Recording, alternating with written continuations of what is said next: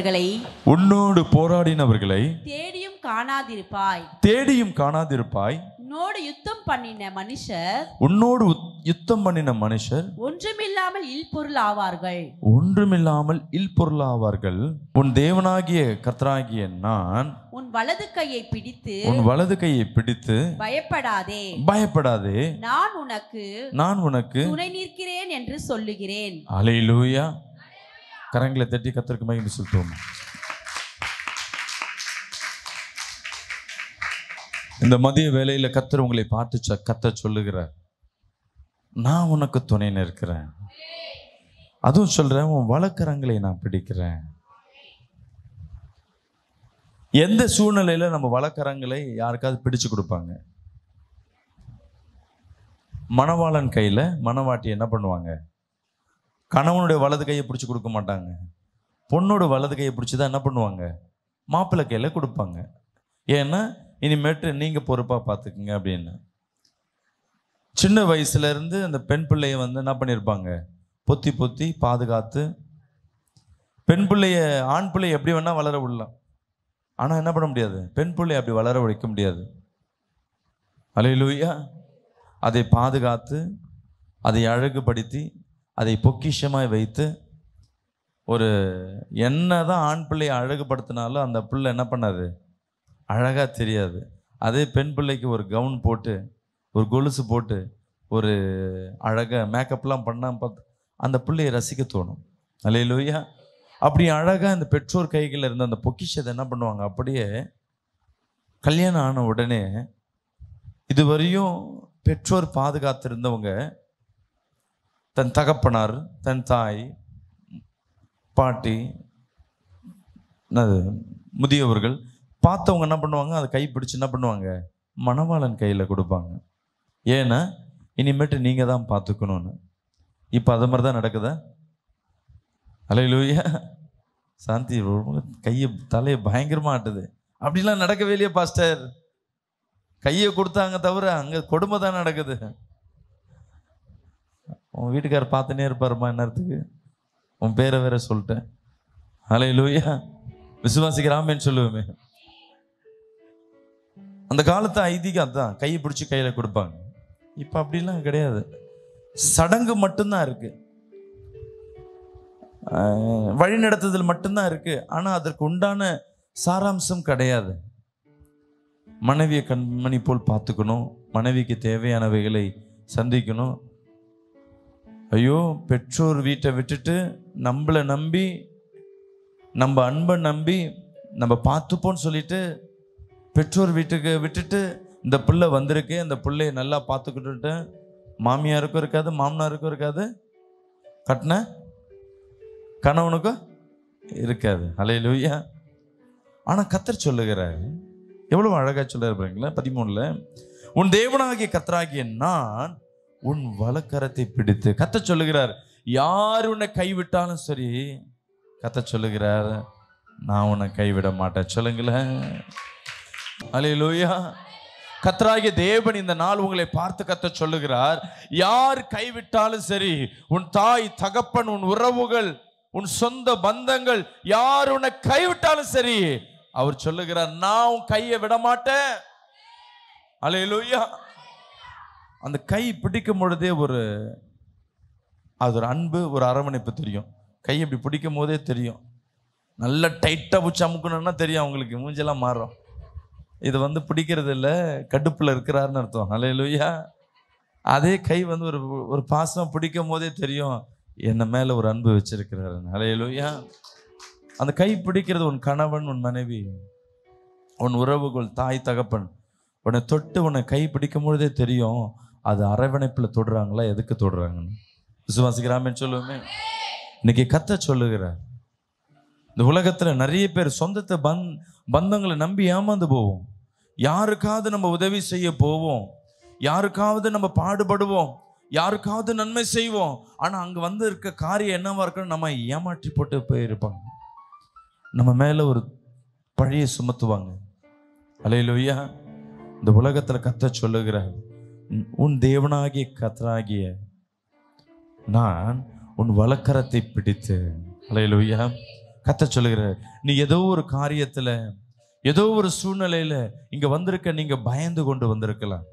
ஐயோ கடன் பிரச்சனை இந்த கடன் பிரச்சனை என்ன நடக்கும்? ஐயோ பிள்ளை சூழ்நிலை ஐயோ திருமணம் நடக்குமா? குழந்தை பிறக்குமா?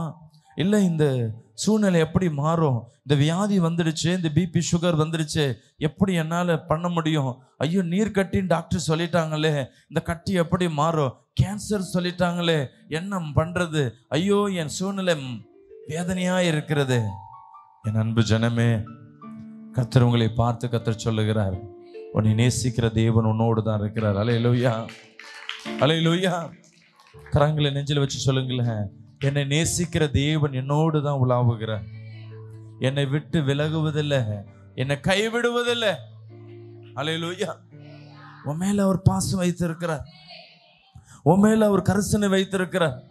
ஏதோ ஒரு வாய்ப்பு கிடைக்குமா? என் பிள்ளையை நான் மீட்டெடுப்பதற்கு ஏதோ ஒரு சூழ்நிலை கிடைக்குமா? எங்கேயாவது ஒரு நல்ல வேலை கிடைக்காதா? என் பிள்ளைய எடுத்துட்டு போய் அங்கே சேர்ப்பதற்கு எங்கேயாவது ஒரு பிஸ்னஸ் இருக்காதா? என் பிள்ளைய அந்த பிஸ்னஸ் செய்ய வைப்பதற்கு எங்கேயாவது நல்ல குடும்பம் இருக்காதா? அந்த குடும்பத்தில் என் பிள்ளையை போய் நான் சேர்க்க வைப்பதற்கு. அலையலுயா. நல்ல நண்பர்கள் நல்ல உறவுகள் இந்த உலகத்தில் யாராக இருக்க மாட்டாங்களா? அவர்களோடு என் பிள்ளையை நான் சேர்க்க வைக்க மாட்டேனா? கத்தர் ஏங்கி கொண்டே இருப்பார். அலையலுயா உன் வலது கையை பிடிச்சிட்டாருன்னா இனிமேட்டு வேலை யாருக்கு நமக்கு கிடையாது. விசுவாசிக்கிறாமே சொல்லுவேன் அலையலுயா இந்த ரோடு கிராஸ் பண்ணும் பொழுது என் பையன் கையை அப்படி டக்குன்னு பிடிச்சிடுவேன் ஏன்னா அவன் வீட்டில் ஒரு இடத்துல இருந்தாவே என்ன பண்ணுவான்? இங்கேருந்து மாறுவான் தலைக்கில தான் பத்துன்னு இருப்பான் அதிக நேரம். இங்கே சேரில் உட்கார சொன்னால் கொஞ்ச நேரம் சேரில் உட்காந்துனே இருப்பான். கொஞ்ச நேரம் பார்த்தீங்கன்னா தலை மேலே இருக்கும் கால் மேலே இருக்கும். தலை கீழே இருக்கும். இப்போ இவங்களை ரோடு கிராஸ் பண்ணணும்னு தெரிஞ்ச உடனே வண்டி இருக்குன்னு தெரிஞ்சுன்னா அவன் வய கையை அப்படி பிடிச்சிருவேன். பிடிச்ச பிறகு அவன் அதுக்கப்புறம் தான் அதிகமாக திமிர ஆரம்பிப்பான். ஓடணும். விளையாடணும்னு. நமக்கு பயம் இருக்கும். கையை என்ன நம்பி வந்துட்டான்? நான் கையை பிடிச்சிட்டேன். இனி பயம் யாருக்குன்னா எனக்கு தான். அவனுக்கு இல்லை. அலையிலுயா. கையை பிடிச்ச எனக்கு தான் பயம். ஐயோ இவனை ஒழுங்காக கொண்டுட்டு போனோம். இந்த பிள்ளைய ஒழுங்காக எடுத்துன்னு போய் கிராஸ் பண்ணணும். இந்த வண்டிகள்லாம் இல்லாதபடி கிராஸ் பண்ணணும். ஆனால் அந்த பிள்ளைக்கு என்ன இருக்கும்? கையை நான் பிடிச்சதுனால இனி எனக்கு என்ன கிடையாது? பயம் கிடையாது. இனிமேட்டு எங்கேயாவது போய் வண்டியில் அடிபட்டாருன்னா என்ன சொல்லுவார்? நீ தான் டேடி என்னை பிடிச்ச. நீ தானே ஒழுங்காக இட்டுட்டு போகணும். அப்போ நம்ம அப்பா நம்ம கையை பிடிச்சிட்டார் இன்னைக்கு. இன்னைக்கு வந்திருக்கிற நண்பு ஜனமே ஏதோ ஒரு துன்பம் ஏதோ ஒரு துயரத்தில் நீ வந்திருக்கலாம். உன் வலது கரத்தை கத்தர் இறுக்கமாய் பிடித்திருக்கிறார். அலையிலுயா உன்னை அனாதையா விடுகிற தேவன் அல்ல. அலையலுயா நீ கண்ணீர் மத்தியிலும் கண்ணீர் மத்தியிலும் நீ கலங்கும்படியாக அவர் வைக்கிற தேவன் அல்ல. உன் கண்ணீரை துடைக்கவே உன் வலது கரங்களை கத்தர் பிடித்திருக்கிறார். அலையலுயா உன் கண்ணீரை துடைப்பதற்காக உன் வாழ்க்கைக்கு ஒரு விடுதலை கிடைப்பதற்காக கத்தர் உன் வலது கரங்களை கத்தர் பிடித்திருக்கிறார். விசுவாசிக்கிறாமேன்னு சொல்லுவேன் அவர் சொல்லுகிறார் கையை பிடிச்சிட்டு என் அன்பு சகோதரியே சகோதரனே குடும்ப பாரத்தையும் இந்த உலக காரியத்தை குறித்து பயந்துருக்கிறாயா பயப்படாத.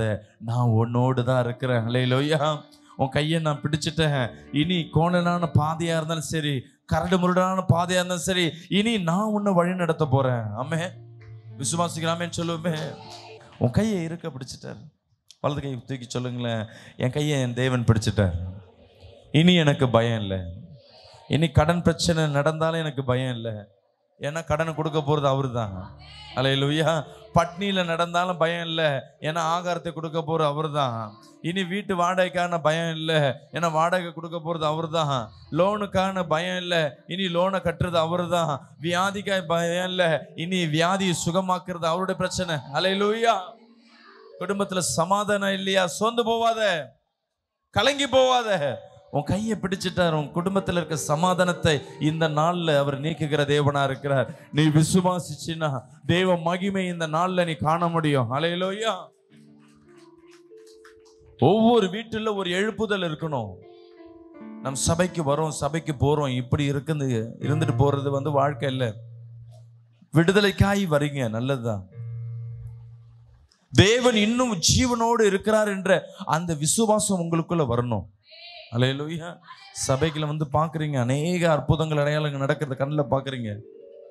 இதை பார்த்துட்டு வீட்டில் போய் பான போன உடனே நடக்கிற துன்பங்கள் வெறுமையான காரியங்கள் வறட்சியான காரியங்கள் அவமான காரியங்களை பார்த்த உடனே கத்த செய்கிற நன்மைகள் எல்லாம் மறந்து போய் தீமையான காரியங்களே காணப்படுகிறது. இந்த ஆண்டு ரெண்டாயிரத்தி இருபத்தி மூணு ஒரு எழுப்புதலின் ஆண்டாய் மாறுகிறது. தேவன் இருக்கிறாருன்னு சொல்லிட்டு அமெரிக்கா தேசத்துல யூகான் அமெரிக்கா தேசத்துல ஒரு யூனிவர்சிட்டியில் ராஸ்பெரின்ற ஒரு யூனிவர்சிட்டி. அந்த யூனிவர்சிட்டியில் என்ன என்ன பண்ணுறாங்கன்னா நார்மலாக ஒரு காலேஜ் நடக்கும். காலேஜில் காலையில் ப்ரேயர் ஒன்று நடக்கும். பசங்களாம் கிறிஸ்டின் காலேஜ்ன்றதுனால காலைல ப்ரேயர் முடிச்சுட்டு அப்படியே காலேஜ் நடக்கும். அந்த ராஸ்பெரி காலேஜில் என்ன நடக்க ஆரம்பிச்சிச்சுன்னா ஒரு பதினாலு வாலிப பிள்ளைங்க வாலிப பிள்ளைங்க சபைக்கு போய் நல்லா தேர்ன ஒரு ஊழியக்காரெல்லாம் இல்லை வாலிப பிள்ளைங்க. அந்த பிள்ளைங்க ஜெபிக்க ஆரம்பிச்சிருக்காங்க. அவங்களால ஜெபத்துலேருந்து எந்திரிக்க முடியல. தேவ அபிஷேகம் அவங்களை ஆளுகை செய்து தேவன் அவங்களை ஊற்றுதல் அந்த ஜெபிக்கிற அந்த வல்லமை அவங்களுக்கு ஊற்ற ஊற்ற அப்படியே உட்காந்து அழுதுகிட்டே ஜெபிக்க ஆரம்பிச்சிருக்காங்க. அழுதுகிட்டு தன் பாவத்தை அறிக்கை செய்து இந்த எழுப்புதல் என்ன ஆயிடுச்சுன்னா எப்பொழுதும் நடக்கிற காலையில் வர்றத காலையில் நடக்கிற ஜபந்தான். ஆனால் எப்பொழுதும் நடக்கிறது போல் அப்போ இல்லை நடக்கலை. அதே ஜபந்தான் அங்கே யாரும் தலைமைகள் யாருமே இல்லை. இந்த வாலிபர்கள் ஜெபிக்க ஜெபிக்க ஜெபிக்க அந்த இடம் எப்படி மாறிடுச்சு? அந்த பில்டிங்க்கு மேலே ஒரு கரு மேக ஸ்தம்பம்.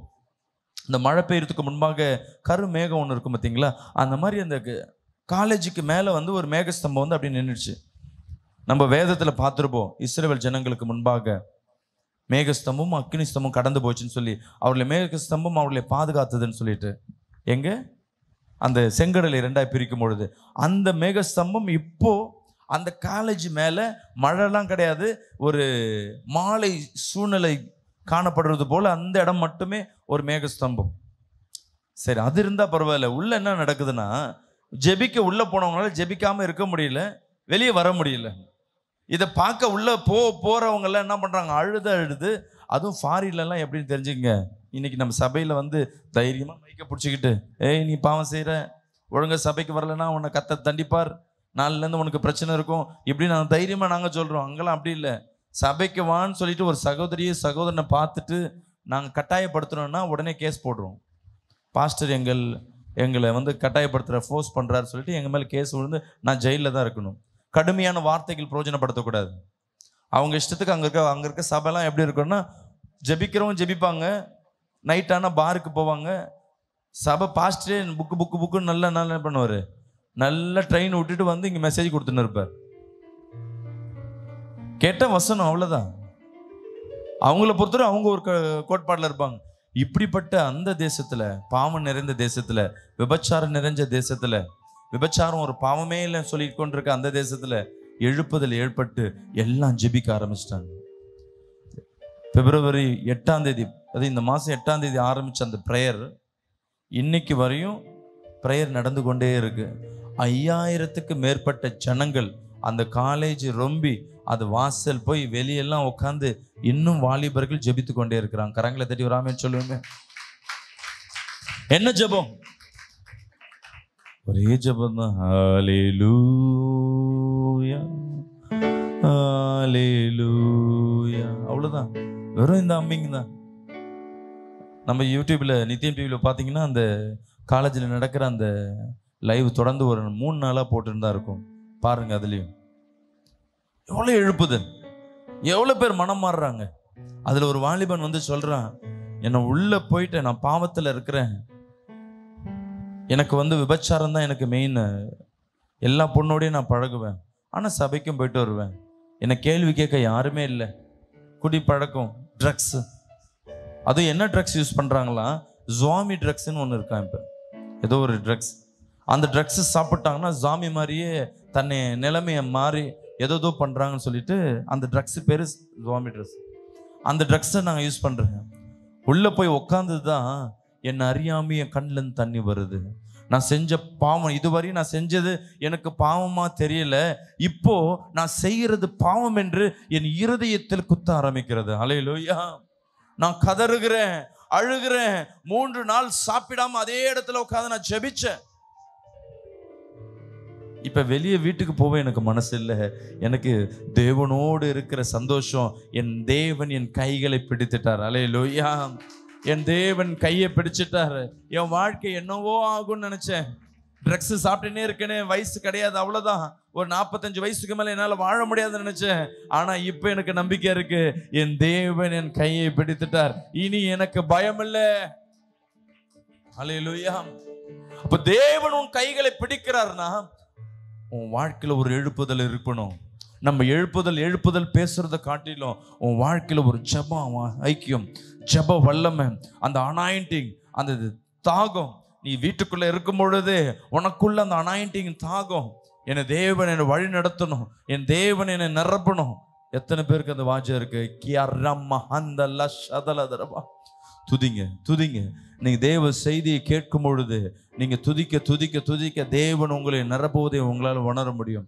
வெறுமையாக உட்காந்து நீ காது கொடுத்து கேட்க ஆரம்பிச்சுன்னா சத்ருவானன் அந்த வார்த்தை காதில் கேட்காதபடி அவன் நடைத்து போடுவான். நீ ஜெபத்தோடு ஜெவனுடைய ஐக்கியத்தோடு அவர் உன் கரங்களை பிடித்திருக்கிறார். எந்த கவலைக்கு நீ பயப்படாத. கடன் பிரச்சனைக்கு பயப்படாத. குடும்ப சூழ்நிலைக்காய் பயப்படாத. உன் கணவன் பண்ற பிரச்சனைக்காய் பயப்படாத. உன் பிள்ளை பிரச்சனைக்காய் பயப்படாத. எல்லாவற்றையும் மாற்றுகிற தேவன் உன் வல கரங்களை பிடித்திருக்கிறார். ராமன் சொல்லுங்களேன். அலையிலோயா உன் கரங்களை அவர் பிடித்திருக்கிறார் மகனே மகளே. அவர் சொல்லுகிறார் உனக்கு துணை நிற்கிறேன். பயப்படாத. உனக்கு துணை நிற்கிறேன். நீ எங்கெங்க நிற்கிற அவன் அவமானத்தின் மத்தியில் நிற்கிறியா அந்த இடத்துல நான் உனக்கு துணை நிற்கிறேன். கண்ணீரின் மத்தியில் இருக்கியா? அந்த இடத்துல நான் உனக்கு துணை நிற்கிறேன். கடன் பிரச்சனை இருக்கியா? யாரும் உனக்கு துணை இல்லாதபடி கைவிட்ட சூழ்நிலை இருக்கியா? அங்க நான் உனக்கு துணை நிற்கிறேன். உன் புள்ள பிரச்சனைனால நீ அவமானத்தில் நிந்தலையில் இருக்கியா? உனக்கு யாரும் இல்லைன்னு நினைக்கிறியா? அங்க நான் உனக்கு துணை நிற்கிறேன். இந்த உலகத்துல யார் உன்னை கைவிட்டாலும் கத்த சொல்லுகிறார். நான் உன்னை கைப்பிடித்து நான் உனக்கு துணை நிற்கிறேன்னு சொல்லி கரங்களை தட்டி ஆமேன்னு சொல்லுவோமே. அல்லேலூயா பன்னெண்டாம் அதிகாரத்தை படிப்போம். உன்னோடு போராடினவைகளை தேடியும் யோசிச்சு பாருங்கள் சில பேர் ஒரு சகோதரி என்கிட்ட கடந்த நாட்களில் சொல்லி கொண்டு வந்தாங்க பாஸ்டர் இந்த ஆளை நான் எப்போ கல்யாணம் பண்ணணும் சின்ன வயசில் எனக்கு நான் மறந்தே போயிடுச்சு பாஸ்டர். சந்தோஷமாக இருந்தா மறந்து போச்சு. இந்த ஆள் எப்போ கல்யாணம் பண்ணணும் ஒன்றும் இல்லாத ஆளை கல்யாணம் பண்ணிட்டேன். கடன் கடன் கடன் கடன் கடன். இப்போ என் பிள்ளைக்கு திருமணம் ஆகிற வயசு வந்துடுச்சு இப்பயும் நான் கடத்தில் இருக்கேன். என் நினைவு தெரிஞ்சதெல்லாம் கடன் தான். எங்கே சிந்து பார்த்தாலும் வர வருமானம் கடன் தான். எனக்கு ஒரு பேரே இருக்கு கடன்காரின்னு. என் சொந்தக்காரங்களாம் என்னை பார்த்து பயப்படுறாங்க. ஏன்னா வந்தால் கடன் கேட்பேன்னு என்னால கேட்காம இருக்க முடியல. என் நெருக்கம் என தேவைகள் ஒன்றும் பண்ண முடியல. யாராவது என்கிட்ட பழகுனாங்கன்னா அவங்க கிட்ட கடன் கேட்க தோணுது என்னது மீறி. நான் அப்போ சொன்னேன் நீ இயேசுவை ஏற்றுக்கொண்டு பார். முழுமையாகவே இயேசுவை நீ நேசித்துப்பார் ஆவியானவருக்கும் இருதயத்தில் இடம் கொடுத்து பார். நீ கடனை தேடினாலும் கிடைக்காது. அலே லோய்யா அலே லோய்யா நீ கடன் வாங்கணும்னு நினைக்கிற அந்த எண்ணமே இதுக்கு முன்னாடி அந்த உன் வாழ்க்கையில் இவ்வளோ ஆண்டுகளாய் வாழ்ந்த இந்த காரியங்கள் இனி நீ நினைச்சாலும் அந்த காரியம் உன் வாழ்க்கையில் நடக்காது. என் அன்பு ஜனமே கத்த சொல்லுகிறார் இனி தேடினாலும் இப்படிப்பட்ட சூழ்நிலை கிடைக்காது. சில பேர் சொல்லுவாங்க என் சரீரத்தில் ஒரு தழும்பு இருந்தது பாஸ்டர் இப்போ காணோன்னு. திடீர்னு ஒரு காயம் வரும். ஜெபம் பண்ணக்கப்புறம் காயம் சரியாகும்? இல்லை மருந்து போட்ட பிறகு சரியாயிடும்? அதே போல தான் உன் வாழ்க்கையில் ஏற்பட்ட பிரச்சனைகள் உன் என் வாழ்க்கையில் ஏற்பட்ட சூழ்நிலைகள் நெருக்கங்கள் இனி தேடினாலும் கிடைக்காது. அலையலோயா அலையலோயா ஐயோ இவங்க மோசமான பிள்ளையாச்சே. உன்கிட்ட வந்து என்ன பேசினாலும் அந்த பழைய சுபாவம் உனக்குள்ள காணப்படாது. ஏன்னா இனி உன்னை கைப்பிடிச்ச தேவன் உன்னை வழிநடத்த போகிறார். அலையலோயா தேவன் உன்னை வழி நடத்துறாருன்னா உன் குணாதிசயங்கள் மாற ஆரம்பிக்கும். உன் சுபாவங்கள் மாற ஆரம்பிக்கும். உன் சிந்தனைகள் மாற ஆரம்பிக்கும். விசுவாசிக்கிறாமே சொல்லுவோமே. அலையலூயா தேவன் உன்னை கைப்பிடிச்சிட்டாரு. ஐயோ இந்த பிள்ளை வாயை திறந்தா வசங்கமா பேசுமே. தப்பான வார்த்தை பேசுமே. கோவப்படுமே. இனி நீ கோவப்படுறத யார் தேடினாலும் கிடைக்காது. அலையிலுயா சத்துரு உன்னை துன்பப்படுத்தினாலும் அந்த பழைய சுபாவங்களை கத்த என்ன பண்றாரு? நசுக்கி போட்டு உன்னை கத்தர் உயர்த்துகிற தேவனா இருக்கிறார். ஆமே அலையிலுயா அலையிலுயா உன் வேதனை துன்பம் சு- து- துயரங்கள் நெருக்கங்கள் எல்லாவற்றையும் தூக்கி போடுங்க. கத்தர் உன் பட்சத்தில் இருக்கிறார். கத்தர் உனக்காகவே அல்ல அவற்றையும் யாவையும் செய்து முடிக்கிறவரா இருக்கிறார். உன் பாரங்களை அவர் சுமக்கிறவரா இருக்கிறார். என் அருள்நாதர் இயேசு சிலுவை சுமந்தது அவருக்காக மட்டுமல்ல உனக்காகவே அவர் தன் சிலுவை சுமந்தார். அலையிலுயா அலையிலுயா அவர் சிலுவை பாடு உனக்காக. ஐயோ அவர் சிலுவை தூக்கினார் சொல்லி நீ அழுதுன்னு இருக்காத. நீ அழுறேன்னு சொல்லி தான் அவர் சிலுவை சுமந்திருக்கிறார். நிறைய பேர் சிலுவை பாட பார்த்த உடனே அவர் சிலுவை காட்சியை பார்த்த உடனே ஃபோட்டோவை சினிமாவை பார்த்த உடனே அப்படியே உட்காந்து தர தரையாக எழுதுன்னு இருப்பாங்க. இந்த பேஷன் ஆஃப் கிரைஸ்ட்னு சொல்லிட்டு ஒரு ஜீசஸ் படம் ஒன்று வந்தது. அது வந்த புதுசில் எல்லா சர்ச்சிலையும் போட்டு காட்டினாங்க. இப்பயும் அந்த ஈஸ்டர் டைமில் எல்லா சபையிலையும் போட்டு காட்டுவாங்க. அவர் சிலுவை சுமக்கிறத பார்த்தோன்னே இவங்க உட்காந்து அழுதுனே இருப்பாங்க. ஐயோ பாவம் ஏசு ஐயோ பாவம். எங்கள் ஏசப்பா இப்படி அடிக்கிறாங்களே. விழால இப்படி அடிக்கிறாங்களே இப்படி எட்டி உதைக்கிறாங்களே. உன் கண்ணுக்கு அவரை எட்டி உதைக்கிறது தெரியுது. அந்த நினைப்பு இருக்குன்னா என்ன அர்த்தம் தெரியுங்களா? நீ எட்டி உதைக்கிற மாதிரி நீ தான் பண்ணியிருக்கிற. வேற யாரும் பண்ணல. அலையிலோயா தலையில் அவர் முள்முடி உன் கண்ணுக்கு முள்முடி தான் அதிகமாக தெரியுதுன்னு வச்சுங்களேன் அவர் தலையை சுற்றி அவரை அவமானப்படுத்தும்படியாக அவரை கேவலப்படுத்தும்படியாக அநேக செயல் நீ செய்திருப்ப. அதனால தான் உன் கண்ணுக்கு தெரியுது. கத்த சொல்லுகிறார் நீ அழுவாத உனக்காக நான் பாடுபடுகிறேன். அலையிலோயா உன் அழுகையை மாற்றுவதற்காகவே நான் சிலுவை பாடி சுமந்திருக்கிறேன். இப்ப நீ சிலுவை பாட பார்த்து அழுத்தாவே இல்லை. மனம் மாறுவதற்கு ஆயத்தமாவுங்க. அலையிலோயா இனி நான் அழுது கொண்டு இருக்கிறதுக்கல்ல இனி மனம் மாறுவதற்கு உண்டான வாய்ப்புகள். கத்த சொல்லுகிறார் உன்னோடு போராடினவர்களை தேடியும் காண மாட்டாய் உன்னோடு யுத்தம் பண்ணின மனுஷர் ஒன்றும் இல்லாமல் இல்பொருளாவார்கள் ராமன் சொல்லுவேன் உங்ககிட்ட சண்டை போட்டவங்க உங்ககிட்ட பிரச்சனை பண்றவங்க இப்போ ஒரு பிரச்சனையோடு தான் வந்திருப்பீங்க. இப்போ ஒரு எதிர் வீட்டில் ஒரு பிரச்சனை இருக்கலாம். பக்கத்து வீட்டில் ஒரு பிரச்சனை இருக்கலாம். ஆமே நான் சொல்கிறேன் நீங்கள் அவங்களெல்லாம் ஆண்டவரே இவங்களை சாவடிங்க இவங்க இல்லாமல் போவங்க அப்படிலாம் ஜெபம் பண்ணிடாதீங்க. அலையிலோயா அது தேவனுக்கு பிடிக்காத காரியம். நீங்கள் அவங்க மனம் ஜபம் ஜெபம் பண்ண ஆரம்பிங்க. விசுவாசிக்கலாமேன்னு சொல்லுவேன் ஒரு சம்பவத்தை சொல்ல ஆரம்பிக்கிறேன். ஒரு சகோதரி வீட்டுக்கு சபைக்கு வருவாங்க. அந்த சகோதரன் அதிகமாக ஜெபம் பண்ணுற மனிதன். சொந்த வீடு வாங்கி வச்சுருக்காரு. சொந்த வீடு அவங்க புதுசாக வீடை வாங்கிட்டு வராங்க அந்த வீடை விற்றவங்க யாருன்னு பார்த்தீங்கன்னா ஏற்கனவே அந்த வீட்டில் குடும்பமாய் வாழ்ந்தவங்க என்ன பண்ணாங்க? நாளாக பிரிச்சுட்டு ஒரு பங்கை விற்றுட்டாங்க இப்போ இவங்க வந்துட்டாங்க. இப்போ அந்த பங்கு நாலாக பிரிச்சதில் ஒரு பங்கு வாங்கி வந்துட்டாங்க. மீதி மூணு பங்கு ஏற்கனவே அந்த ஊர்லேயே வாழ்ந்த ஜனங்கள் அங்கேயே இருக்கிறாங்க. இவங்க வந்ததுலேருந்து நீ ஊரை விட்டு வந்துட்ட ஊரை விட்டு வந்துட்டேன்னு சொல்லிட்டு எங்கள் ஊர் இது? நாங்கள் இப்படி வாழ்ந்தோம் அப்படி வாழ்ந்தோன்னு அந்த வீட்டை டெய்லியும் சண்டை போட்டுக்கிட்டே இருப்பாங்க. அந்த கணவன் வெளியே போயிட்டாருன்னா போதும் அந்த அம்மா மாட்டிப்பாங்க. இப்படியே தினந்தோறும் சண்டை சண்டை சண்டை சண்டை. ஒரு காலகட்டத்தில் ஏன்டா இந்த வீடை வந்துட்டோன்னு சொல்லிட்டு அந்த கணவர் சொல்றாரு பாஸ்டர் நான் வித்துடலான்னு இருக்கேன் பாஸ்டர். நான் சொன்னேன் வித்துட்டு போய் எங்க போக போறீங்கன்னு? வேற எங்கேயா வாங்க. வேற இதோட பிரச்சனை இங்க மூணு வீட்டுக்காரங்க பிரச்சனை. போற இடத்துல அஞ்சு வீட்டு பிரச்சனை இருந்தா என்ன பண்ணுவீங்க? அப்போ என்னதான் பண்றது பாஸ்டர்? ஒன்னே ஒன்று தான் பரலோகத்துக்கு தான் போகணும். அங்கதான் நிரந்தரமான வாழ்க்கை. என்ன பாஸ்டர் கிண்டல் பண்றீங்க? வேற என்னய்யா? கத்தர் உங்களோடு இருக்கிறாரு. கத்தர் உனக்காக யுத்தம் பண்ணுவார். நீ ஜெபம் பண்ணு. இனி அந்த பிரச்சனையை நீ பார்க்க மாட்டேன். அலையிலோயா இனி இனி இப்போ அந்த மூணு வீட்டில் இருக்கவங்களுக்கு என்ன பிரச்சனைனா வித்தை விட்ட நான் வாங்கணும். எப்படி? அவங்க அதுதான் ஜெபம். உடனே என்கிட்ட வீட்டை வித்துரு. எங்க நான் தம்பி ஏதோ தெரியாமல் வித்துட்டு போயிட்டான். எங்களுக்கு வித்துட்டு நீ என்ன பண்ணு இந்த ஊரை விட்டு கிளம்பு. இவன் கடன்லாம் வாங்கியிருக்கான். நான் கம்மி ரேட்டு தான் தருவேன். இஷ்டமாக தான் இரு. இல்லைன்னா கிளம்பி போன்னு சொல்லி அவனை டார்ச்சர் பண்ணுறாங்க இவங்க ஜெபிக்கிறாங்க ஜெபிக்கிறாங்க ஜெபிக்கிறாங்க ஜெபிக்கிறாங்க. அலையிலூயா வீட்டை வித்துடலான்னு ஒரு மைண்டுக்கு வந்துட்டாங்க. வந்துட்டு பாஸ்டர் நாங்கள் முப்பது லட்ச ரூபாய்க்கு வாங்கணும். இப்போ அவங்க இருபது லட்ச ரூபா தான் தருவேன்றாங்க. வேற வழி தெரியல. இருபது லட்ச ரூபாய்க்கு ஒரு வீடு வந்திருக்கு. நான் அங்கே வாங்க போகலான்னு இருக்க வீட்டில் ஏம்மா அப்படி பண்ணுறீங்க ஒன்றும் உங்களுக்கு மேலே விசுவாசம் இல்லையே. ரெண்டு பேருக்கும் ஜெபம் பண்ணிட்டு விசுவாசத்தை குறிச்சிட்டு கொஞ்சம் ச- செய்தியை கொடுத்துட்டு போங்க கத்தர் ஒரு அற்புதத்தை செய்வார். நீ நைட்டு முழங்கால் போட்டு ஜெபம் பண்ணுங்க. அவங்க என்ன பண்ணாங்க? ஒரு ஏழு நாள் முழங்கால் போட்டு நைட்டெல்லாம் ஜெபம் பண்ணாங்க. அலையலூயா என்ன ஆச்சுன்னு தெரில மூணு வீட்டுக்காரங்களும் அடுத்த ஏழு நாள் அடிச்சுக்கிறாங்க டம்மு டிம்முன்னு சண்டை சரியான சண்டை. பஞ்சாயத்துக்கு யார் போய் நிற்கிறாங்கன்னா இவங்க தான் போய் பஞ்சாயத்து நிற்கிறாங்க இவங்கள தான் பிரித்து வைக்கிறது. இப்போ என்ன சொல்கிறாங்க இந்த மூணு வீட்டை நீங்களே வாங்கிடுங்க. விசுவாசிக்கிறாமேன்னு சொல்லுவேன் அலை லூயா இப்போ இவங்கள்ட்ட என்ன இல்லை? வாங்குறதுக்கு காசு இல்லை.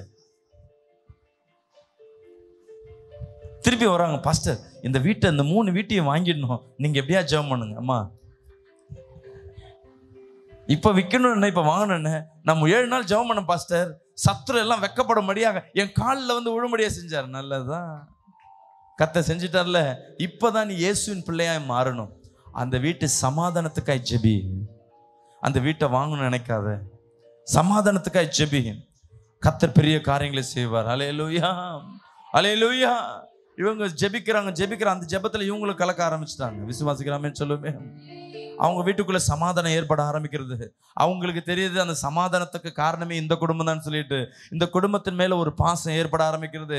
எல்லா குடும்பத்தின் எல்லா நல்ல கெட்ட காரியங்களை இவங்களையும் முன்னிறுத்துறாங்க. விசுவாசிக்கிறாமேன்னு சொல்லுமே. இப்போ இந்த சகோதரி சொல்கிறாங்க ஏற்கனவே சண்டை போட்ட அந்த ஆளெல்லாம் எங்கன்னே தெரில பாஸ்டர். இப்போ அவங்களாம் அன்பாக பேசுகிறாங்க எனக்கு சாப்பாடுன்னு அவங்க தான் எடுத்துகிட்டு வந்து கொடுக்குறாங்க. வீட்டில் நாங்கள் சாப்பாடு தான் ஆக்குறோம். குழம்பு அவங்க ஆக்குறாங்க. சில நேரத்தில் குழம்பு அவங்க செய்கிறாங்க நான் சாப்பாடு செய்கிறேன் இப்போ எங்கள் குடும்பம் மாதிரி அந்த குடும்பம் இருக்குது கரங்களை தட்டி ஆமேன்னு சொல்லு. சூழ்நிலை எப்படி மாறணும் இல்லை? கத்தர் உன் பட்சத்தில் இருக்கிறார்னா இயல்பொருளாய் மாற்றி போடுவார். விசுவாசிக்கிறாமேன்னு சொல்லுங்களேன். அலையலோயா கடன் பாரத்தோடு குடும்ப சுமையோடு அநேக தேவையோடு அநேக பாரத்தோடு நீங்கள் வந்திருக்கலாம். இன்னைக்கு கத்தர் உங்களோடு பேசிக்கொண்டிருக்கிறார். உன் பாரத்தை கத்த நீக்குவார். அலே லொய்யா நீ ஒரு முழங்கால் போட்டினா தெரிஞ்சுக்கங்க. சத்துரு அந்த இடத்த விட்டு ஓடி போவான் தெரிஞ்சுக்குங்க. நீ முழங்கால் போடுறது அவங்க ஓடுறதுக்காக இல்லை அவங்க மனம் திரும்ப. விசுவாசிக்கலாமேன்னு சொல்லுவேன் அலே லூயா அலே லூயா போன சண்டே செய்தியை கேட்டிருப்பீங்க. எத்தனை உறவுகளை நீங்கள் வேணாம் வேணாம்னு அவாய்ட் பண்ணுவீங்க. எத்தனை பேர் உனக்கு பிடிக்கலன்னு சொல்லி அவங்ககிட்ட பேசாமல் பேசாமல் இருப்பீங்க. எத்தனை பேரை நீங்கள் அவாய்ட் பண்ணி உன் உறவே இல்லாமல் நீ தனி மரமாக இருப்ப. தனி மரமும் அந்த சவுக்கு மரம் மாதிரி தான் இருப்பேன். ஒன்றுத்துக்கு பிரோஜனமாக இருக்க மாட்டேன். விசுவாசிக்கலாமேன்னு சொல்லுவேன் கத்தர் உன்னை ஆலமரம் போல வைக்கிறார். அநேக உறவுகள் வேணும். இன்னைக்கு யார் உனக்கு சத்துருவா இருக்கிறானோ அவன் தான் நாளைக்கு உனக்கு உதவியாக நிற்பாங்க. விசுவாசிக்கலாமேன்னு சொல்லுவேன் எல்லாம் கண்களை மூடி.